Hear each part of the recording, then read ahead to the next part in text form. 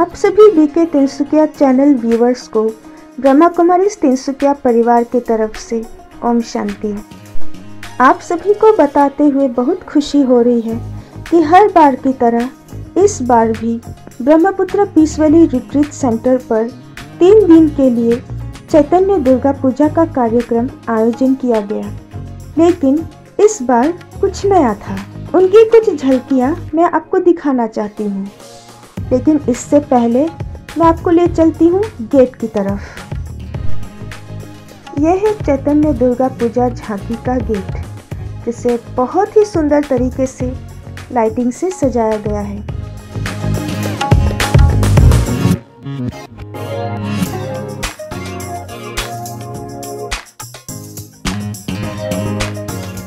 चलिए आगे चलते हैं।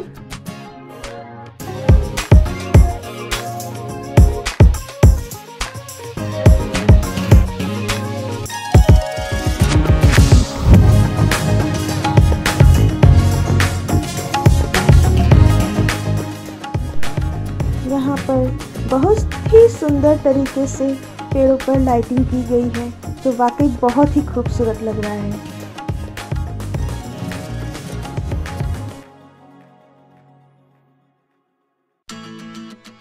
और ये है रिट्रीट सेंटर की बिल्डिंग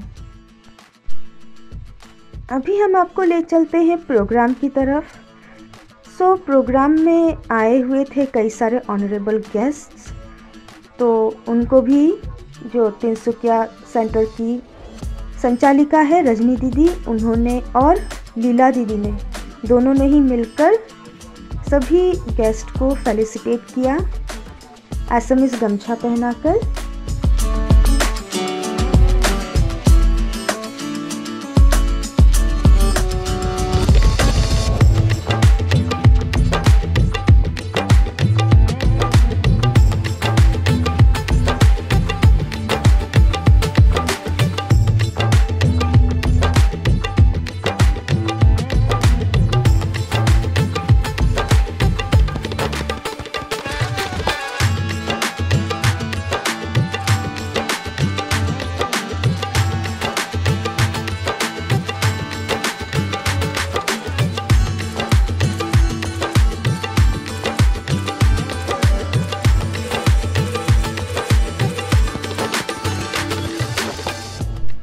मेहमानों के स्वागत के बाद अभी खुलने वाला है पर्दा, लेकिन इससे पहले महिषासुर और ब्रह्मा कुमारी का होने वाला है बहुत ही सुंदर कन्वर्सेशन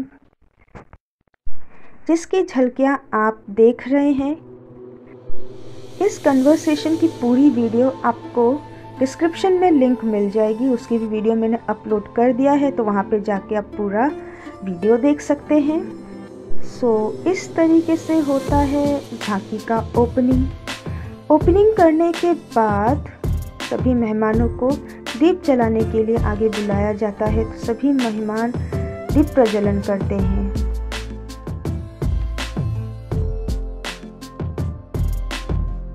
कैंडल लाइटिंग के बाद रजनी दीदी ने इस चैतन्य दुर्गा पूजा का आयोजन के पीछे क्या उद्देश्य है इसे समझाया। कि हम दुर्गा पूजा चैतन्य रूप में क्यों मनाते हैं? तो उसका आपको कुछ झलक दिखा रहे हैं। कि हम सभी को एक मैसेज दें इस झांकी के प्रदर्शन के द्वारा कि ये देवियाँ कौन है, ये बताएँ सभी को कि ये देवियाँ हमारे ही अंदर की शक्तियाँ हैं। हम सभी आत्माओं के अंदर वो शक्तियाँ हैं, जो शक्तियों को अभी हम पहचान नहीं पा रहे हैं। क्योंकि हम आत्मा का ध्यान नहीं दे रहे हैं। हम सभी बॉडी कॉन्शियस में हैं देही भान में हैं तो हमारे अंदर की ही शक्तियाँ वो खत्म हो गई हैं।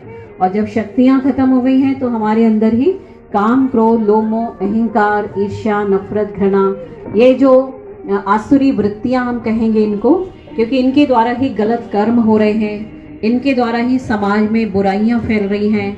हम, हमारा जो ये समाज या हमारा जो पूरा विश्व कभी ऐसा था जो स्वर्णिम था, सतयुग जिसको कहते हैं, लेकिन आज ये कलयुग हो गया है और दिखाई दे रहा है कि जैसे ये नरक जैसा हो गया है आज। तो कैसे अभी हम इसको परिवर्तन करें?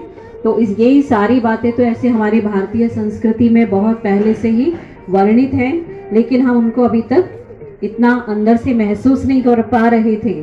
तो यहाँ पर जब हम ब्रह्मा कुमारी इसमें आते हैं और यहाँ पर हमें जब नॉलेज मिलती है तब हमें ये पता चलता है, हर चीज़ का एक आध्यात्मिक रहस्य पता चलता है और हमें अपने ही अंदर की उन शक्तियों को जगाना है और उसके लिए हमें परमात्मा से कनेक्शन जोड़ना है।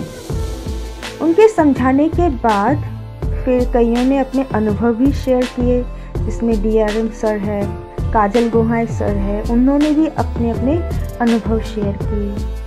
अनुभव शेयर करने के बाद सभी को ईश्वरीय सौगात भी दिए गए।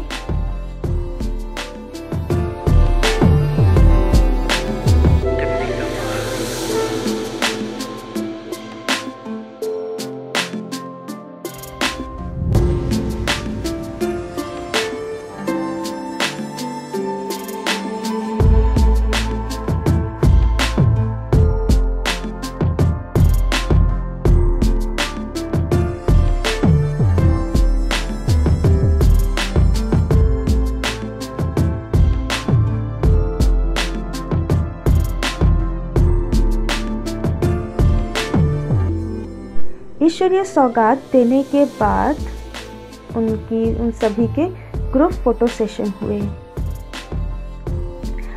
अब जब पर्दा बंद होने की बारी आती है, तब और एक कन्वर्सेशन यहाँ पे शुरू हो जाता है, जो होता है पुजारी और देवी दुर्गा के बीच।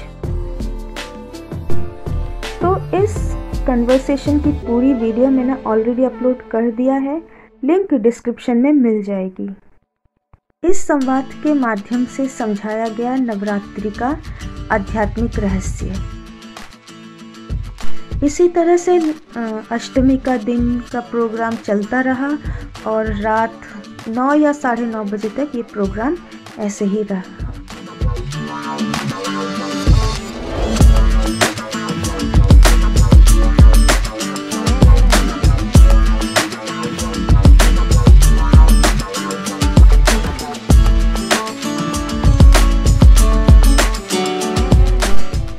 नवमी के दिन भी अष्टमी के दिन की तरह ही शुरुआत हुई, सब कुछ बिल्कुल वैसा ही था, लेकिन यहाँ जो गेस्ट आए हुए थे वो काफ़ी स्पेशल गेस्ट थे।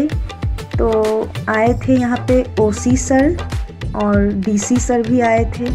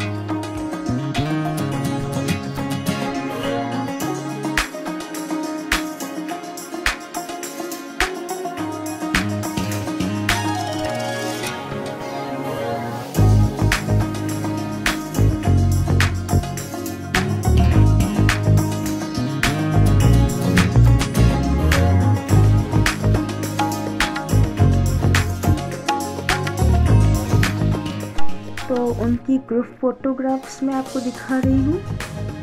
और बाकी कल ही के तरह, यानी अष्टमी के दिन के तरह ही पूरा प्रोग्राम चला। और नवमी के दिन रात 10 बजे तक प्रोग्राम समाप्त हो गया।